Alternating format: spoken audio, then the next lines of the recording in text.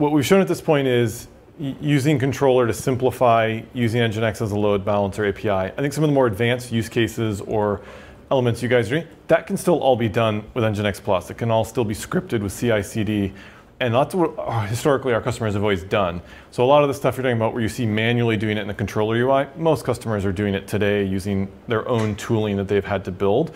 The goal with controller is first onboard people that couldn't get to Nginx Plus because they didn't have that tooling, and then step two, take those advanced users and move all that automation up into the control plane so they don't have to do it themselves.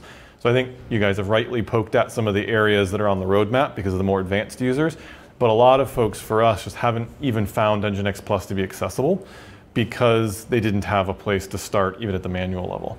So um, the reason why I start there is because, as you can imagine, that's our philosophy with service mesh as well. Um, the most common question we get from customers is, do I even need a service mesh? Uh, and I would hope it's not controversial to say, but the answer is no. Most customers do not need a service mesh. And it's because, first of all, Kubernetes, in, its, in essence, is a very good layer 4 service mesh. What most customers want is the layer 7, but they have to operate at a significant level of scale and complexity before they really want the overhead of Istio and sidecar proxies and all the instrumentation that would be needed. And so, I'll, I'll, so what we see is instead that customers kind of start step one. I just need to think about Nginx as an ingress controller.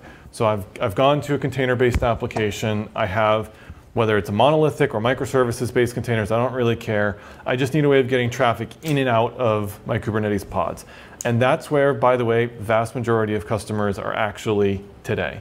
They're just getting started and thinking about Kubernetes orchestrated environments, and they just need a in, in good way to get traffic in and out.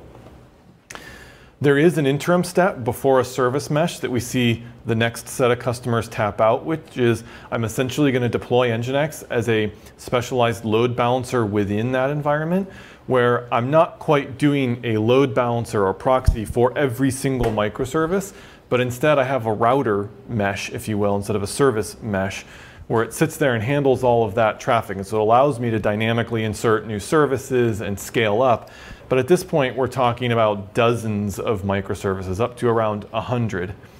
It's really not until companies are up in the hundreds to thousands of microservices where it makes sense to have, uh, in this case, every single service has its own proxy. All of that is then managed and orchestrated via the service mesh.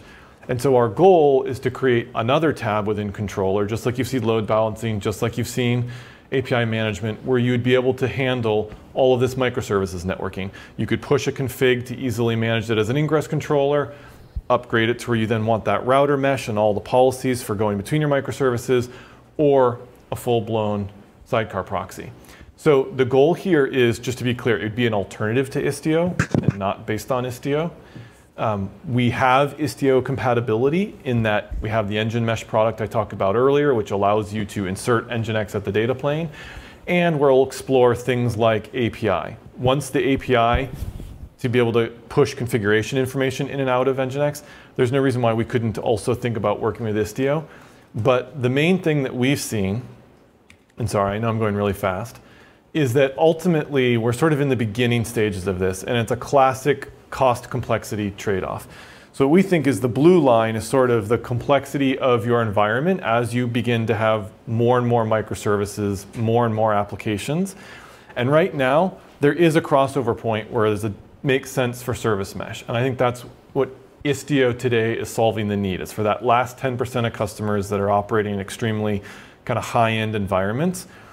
What we want to do is architect a simpler service mesh that isn't Istio based, that uses many of the common tooling, but exposes it inside the controller. So we'll be able to grab a lot of the tooling that folks are using, uh, tools from HashiCorp, examples, so that we don't have to necessarily have the full blow, and we think we can push the economics of this curve down so that people can embrace service mesh earlier on when they don't have kind of hundreds to thousands of microservices.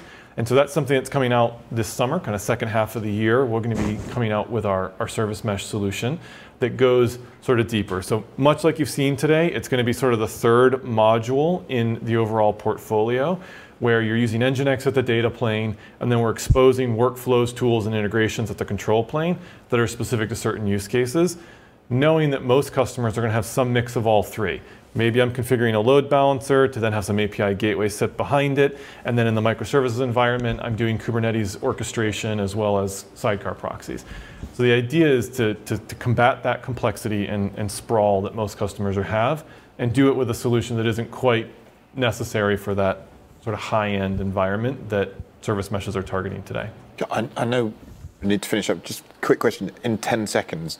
How are you making service mesh simpler than Istio, who are making big strides to make their service mesh uh, simpler uh, and are already have that kind of market share? Yeah. So part of it will just be in the amount of tooling and heavyweight aspect of the solution, so it's simpler to deploy. But also, our goal is that it'll extend beyond Kubernetes-based environments. So you can have one solution that's handling uh, a sidecar proxy sitting in front of a monolithic application, in front of a Kubernetes environment, in front of VM environments. And so you'll be able to pull all that in and have one look across the entire topology instead of having a separate domain for Istio, a separate domain for monolithic environments. So I, the simpler is, is in the reduction of the number of tools, although I do think Istio itself, the feedback we've got is it's still pretty hard to configure. It's getting a lot better, uh, and the cloud providers are doing a great job of exposing it as a managed service. And so we want to sort of provide that level of simplicity, kind of what you've seen AWS and GCP and others do. That was not 10 seconds. Ken looks nervous. Oh, you're good. yeah. So that's actually all we really wanted to go through today. Thank you for bearing with us as we get through a lot of content in just two hours. Uh, hopefully this was helpful and, and good. Um, I you know, certainly encourage you to take some of the Nginx goodies home and, and, start playing with Nginx if you haven't already. It is a very versatile tool. Uh, and then I definitely recommend hooking up a floppy drive and listening to the sweet, sweet sound of a three and a half inch floppy running a website.